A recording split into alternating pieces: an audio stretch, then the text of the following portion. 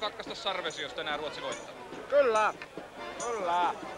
Kyynel vuolas, virta tulee, niin pysyykö meikki naamas loppuun asti? Onneksi sitä ei tuu. Ja jos ilon kyynä tulee, niin se tulee, mutta veden mukana kuulemma lähtee menemään.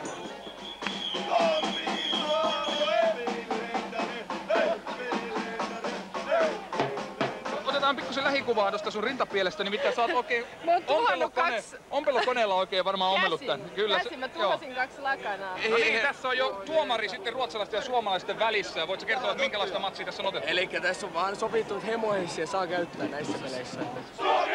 No, minä olen luvannut 200 markan löytö, Saksan markan löytöpalkki, joka palauttaa tämän lipun. Eli aito lippu on kadonnut tällä reissulla. Kyllä.